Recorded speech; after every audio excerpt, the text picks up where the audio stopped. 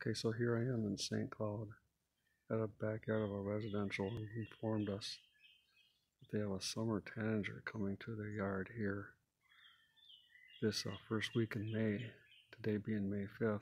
It's the third day of its presence being known.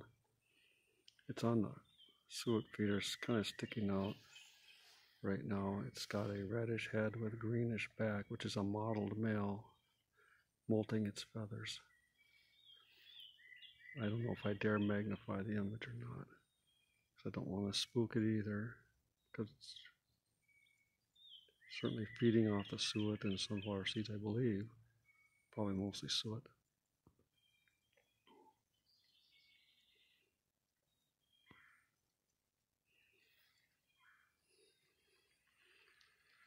So if you look past the uh, grape jelly and orange feeder for orioles, you'll see there's a little feeder with a suet block on the front and it's sitting on the left edge where that downy woodpecker just landed.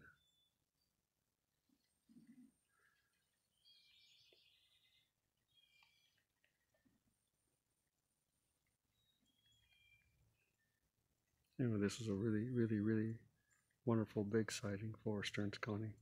Habitat's correct on the Beaver Island Trail area of St. Cloud.